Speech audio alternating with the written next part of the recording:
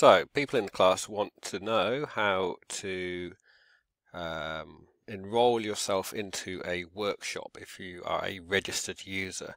So, I thought I'd do an example which would have a lot of analogies, show you the kind of thing.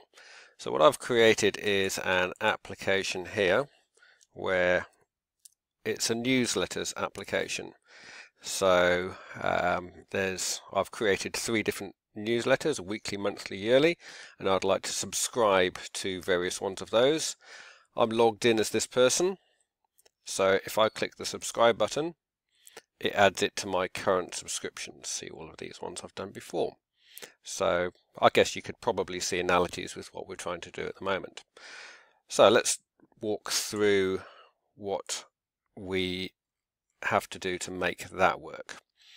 So the first thing was um, to do the actual subscription, there was a link, right? So in order to make that link work, we need to be able to add our own routes.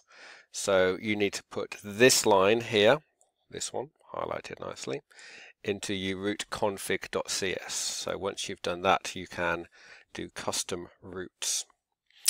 Now let's have a look at the models that I've created. Start at the beginning. So I've got my newsletter, which is what you'd expect. It's just a newsletter, just an ID, primary key, and a name of the newsletter, which is that weekly, monthly, yearly. And I've got this uh, link to the subscriptions. So one newsletter, many people can subscribe to it.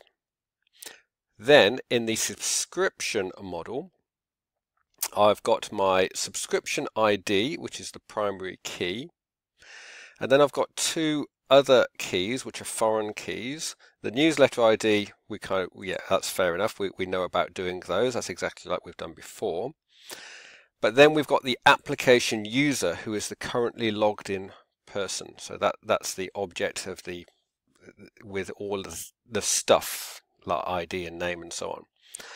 Now, unfortunately, that person or that object has just got ID instead of being application user ID, which is why I've had to put this key here to specify that subscription ID is the primary key. Otherwise, annoyingly, it uh, assumes that what you've put as ID is going to be the primary key for this, which it is not, of course. So that's very frustrating. Anyways, so that's set up our links for the application user and the newsletter.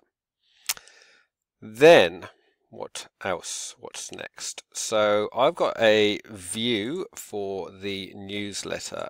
So that was this index page. So there's some stuff happening in here.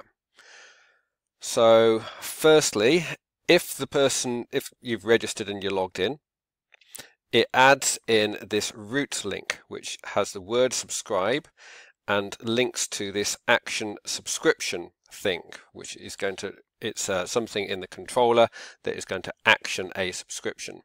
And what it's going to pass to that is the ID of the newsletter. So the idea is you click on that link for that particular say yearly newsletter and the ID of the yearly newsletter gets passed to um, this uh, function defined by this route here.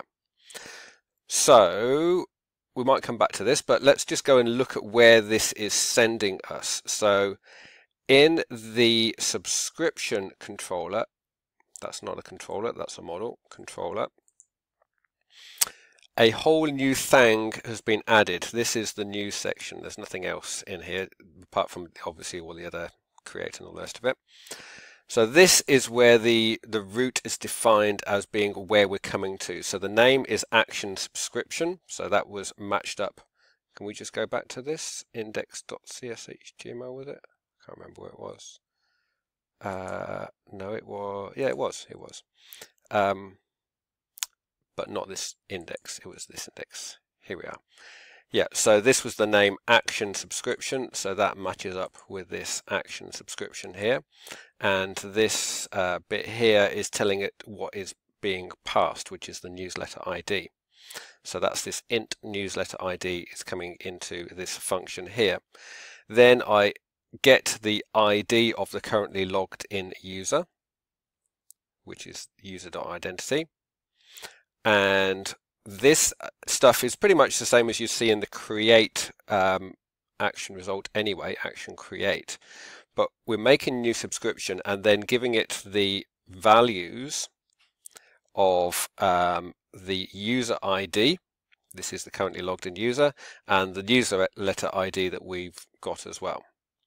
And then this just basically does it just updates the database and sends us back to the index of this um, current controller and we see the um, the view for the index and is that it is that everything uh, I did say I was going to come back to the view I think we that's pretty much everything happens then um, so I did say I'd come back to here and just show you this.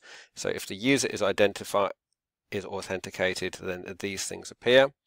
And uh, in theory, if the user is in the role admin, the edits and deletes, I'm not sure that's quite working yet, but we'll fiddle around with that later. That's easy. And then uh, there was one last thing I wanted to look at was the view for the subscription index. This has got in it the things that I wanted to display and it's also got we're going to have to look at the control as well for this um, so it's picking up the correct so obviously we've got the heading for the newsletter name and the username so this is how it's picking up the newsletter name and the user name from the um, from the model um, and also adding the links in. But the thing that we wanted to look at was the subscription controller for that index. That's not the controller. Love finding my way around Visual MVC. Uh, action result index. This line here has got this included on the end. And this basically says um, for the subscriptions that we're looking at um, for it, that particular newsletter only look for the ones where the subscription ID matches the ID of the currently logged in user. This is the currently logged in user. So that will say, show me my subscriptions as the currently logged in user. It won't show me every other person's subscription that has logged in. All right. So you might need to watch that once or twice just to kind of follow through how all of that links together. Certainly, um, it's uh, reasonably complex. Give it a go. See how you go.